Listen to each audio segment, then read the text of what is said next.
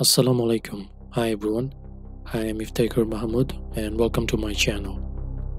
আজ আমরা DNS dumpster নিয়ে কথা বলব বেসিক্যালি ডিএনএস ডাম্পস্টার একটা ফ্রি অনলাইন টুল যা দিয়ে ডোমেইনের আড়ালে লুকিয়ে থাকা ইনফরমেশন আমরা বের করে আনতে পারি সহজ কথায় ডিএনএস ডাম্পস্টার হলো আপনার টার্গেটের বিভিন্ন ইনফরমেশন হান্ট করার একটা শক্তিশালী ওয়েপেন যেমন subdomain IP address mail server DNS server ইত্যাদি।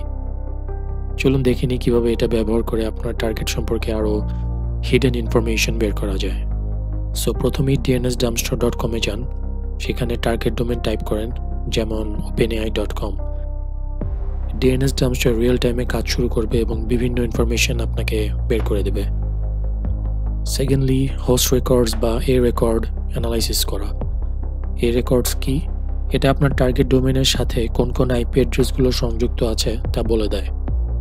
এখানে ডিএনএস ডাম্পচার আপনাকে টার্গেটের কিছু সাবডোমেইন দেখাবে, যেমন mail dot open AI dot com বা admin dot open AI dot com এই আইপি অ্যাড্রেসগুলো ব্যবহার করে টার্গেট নেটওয়ার্কের ব্যাপারে আরও গভীর ধারণা পাওয়া যায়। এখানে রিভার্স লুকআপও ব্যবহার করা যেতে পারে। আমরা রিভার্স লুকআপ ব্যবহার করে আরও ডোমেইন বা সাইটগুলো খুঁজে বের করতে পারি, যা ওই একই সার্ভারে হোস্ট করা আছে। আর এর মাধ্যমেই টার্গেটের আরও ইনফ্রাস্ট্রাকচার সম্পর্কে আমরা ধারণা পেতে পারি। তৃতীয়ত মেল সার্ভার বা এমএক্স রেকর্ড খুঁজে বের করা। ডিএনএস ডাম্পস্টার দিয়ে আমরা মেল সার্ভার সম্পর্কে জানতে পারি। এমএক্স রেকর্ডগুলো মেল সার্ভার সম্পর্কে আমাদের তথ্য দেয়। এই ইনফরমেশনগুলো জানলে আমরা টার্গেটের ইমেল সিকিউরিটির গ্যাপ বের করতে পারি। লেটসে কোনো ইমেল সার্ভার যদি দুর্বল হয় সেটা আমাদের জন্য একটা দারুণ সুযোগ। তারপরে আমরা সিনেম রেকর্ডগুলো দেখতে পারি। ডিএনএস ডামস্টার সরাসরি সিনেম নামে আলাদা কিছু দেখায় না, তবে হোস্ট রেকর্ডস বা এই রেকর্ডের অধীনে থাকা সব সাবডোমেনগুলোই সিনেম রেকর্ড হিসাবে কাজ করে। সাবডোমেনগুলো যেমন API dot open AI dot com বা log in dot open AI dot com এগুলো টার্গেটের ব্যাকএন্ডের সিস্টেমে বা এপে সম্পর্কে আমাদের ধারণা দেয়। আর এই তথ্যগুলো নিয়ে আমরা আরও গভীরে অ্যানালাইসিস করতে পারি। তারপরে আমরা ডিএনএস সার্ভার বা এনএস রেকর্ড এবং নেম সার্ভারগুলো নিয়ে অ্যানালাইসিস করতে পারি।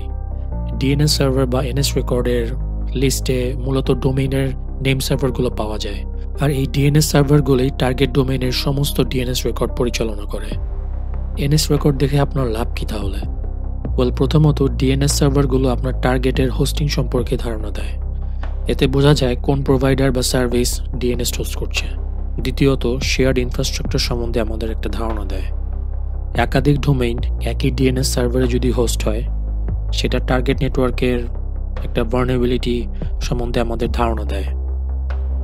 তারপরে আমরা টিএক্সটি রেকর্ড নিয়ে দেখতে পারি। টিএক্সটি রেকর্ডে এসপিএফ ডি মার্কের মতো ইম্পর্টেন্ট ইনফরমেশন থাকে। এগুলো ঠিকমতো কনফিগার করা না থাকলে ইমেল স্পুফিংয়ে ঝুঁকি থাকে, যা হ্যাকারদের আক্রমণ করার চমৎকার একটা সুযোগ এনে দেয়। ডিএনএস ডাম্পস্টারের ভিজুয়াল ম্যাপিং ফিচারটা অসাধারণ।